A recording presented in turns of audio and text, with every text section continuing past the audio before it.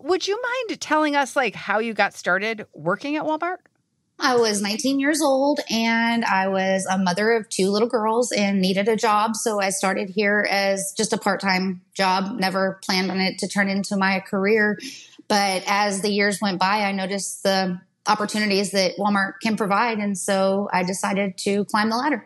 Do you remember how much you made? $6.25 an hour.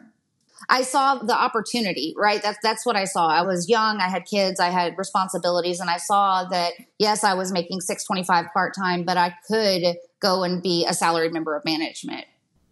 That was journalist Sarah Nassauer from the Wall Street Journal interviewing Walmart's store manager Nichole Hart from Waco, Texas. In the next video, we have Walmart US President and CEO Brian Furner explaining how store managers can now earn up to $400,000 per year. Our managers will now earn an average salary of $128,000 with the opportunity to earn a bonus of up to 200% of their salary. And then on top, they'll receive the shares of stock. Life is full of opportunities. We live in a system where if you have the work ethics and the desire to make a lot of money, you can do it even without a college degree. Walmart is not unique offering this kind of opportunities. A regular non-college educated individual can climb the corporate ladder at many other places like Home Depot, Costco, Amazon, Target, and many more. It's up to you to find those opportunities. This is a job where a person doesn't have to have a college degree. They can make potentially $400,000. What does that say to you about the labor market?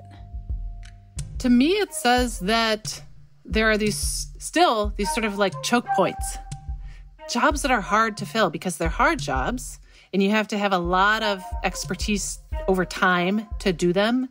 I don't think any like college grad could waltz in and be the manager of a Walmart store, right? And as Nichole herself told me, you know, if you can run a Walmart store, you can run a Home Depot, you can run a Target, you can do other things. And so once someone has gotten to that level at the company, it makes sense that Walmart would really want to keep them. It's up to you, brothers and sisters. If the circumstances of your life leads you to where your only option is to start working at a Walmart, as a cashier for minimum wage, well, that is unfortunately. But at least you have the knowledge that there are opportunities out there and that there is a system at all these organizations that will help you get a better job and earn more money. If Nichole at age 19 with no college degree and two baby girls, if she can do it, you can do it too.